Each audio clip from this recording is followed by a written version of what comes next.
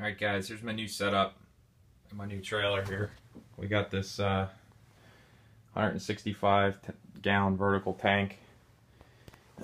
takes up a lot less floor space, so uh, switched over to this. This same uh, kind of bulkhead setup as we had in the last setup with the dump right there. Um, I have a different orientation of the machines here, so we switched this up. Put the T here. You got a quick 90. This is a union fitting, so you can take this off and if I ever wanted to pull this, this is the 8 gallon cold water machine. If I ever wanted to pull that out, just disconnect this and it's totally separate so you can take the whole thing out. This all this plumbing here is the same. There's a, the filter, dual feed. Uh, didn't change any of that. So that's uh, to the cold water. And then this here, I just put this on here.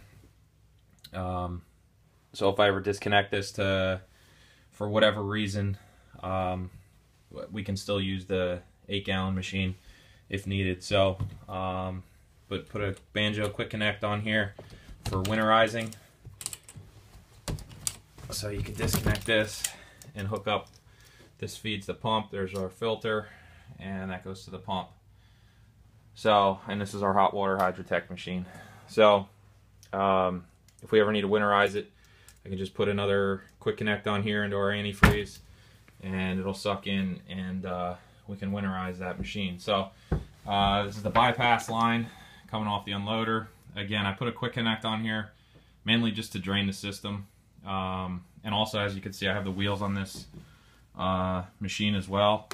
I left it on, the wheels on, thinking uh, it might be easier just to disconnect uh, the hoses and wheel the machine off the trailer and put it in the heated garage rather than going through winterizing the whole thing. So that's why I put, another reason I put the banjos on here.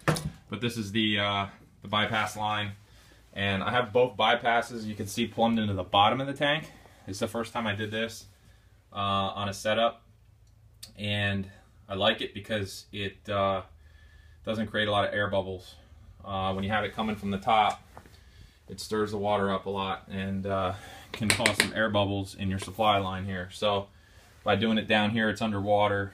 Uh, it doesn't create those those air pockets. And also, the I've I've heard that the uh, water flow from the bypass on the bottom of the tank keeps the uh, debris from settling down there and getting caught in your line, um, and eventually, you know, if it bypasses your filter into your pump. So it's another advantage of doing that. But anyway, uh, I uh, just wanted to share the setup again.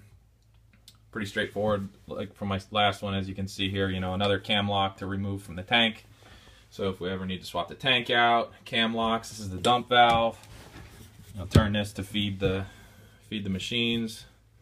Um, so yeah, that's pretty much it. I mean, we've been using it for a couple months now, um, and it works. It works really well. Um, I, I, was worried about this flow design here with to the eight gallon machine with this 90, but um, it works fine. I don't have any issues. So, all right, hope it helps, guys.